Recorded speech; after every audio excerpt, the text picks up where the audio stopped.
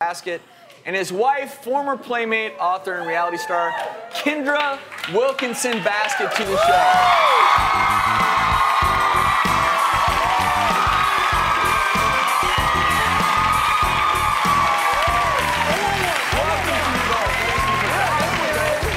We have some bonding today. Yeah, You may uh, have to I like watch to him. Talk. So we were just discussing whether or not sex before a big sporting event is wise. And uh, Dr. Ordon said it's a myth. Hank, you're a professional athlete. Yes or no? I'm gonna have to say it's a reality. I would, Yeah? I never, never, never would do it before a big game. No. And are no. you are you good with that?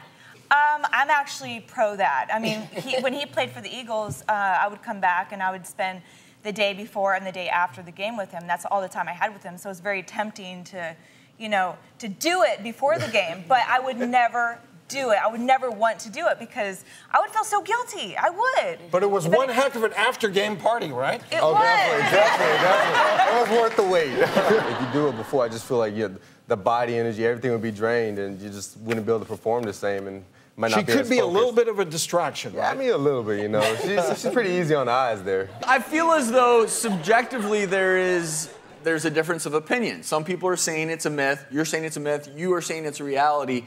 The, the evidence suggests that it is a myth. That there's no significant drop in testosterone levels, and that theoretically it shouldn't affect your performance. But I think if you personally aren't up for it beforehand, you think it affects your performance, then Yeah. you probably shouldn't.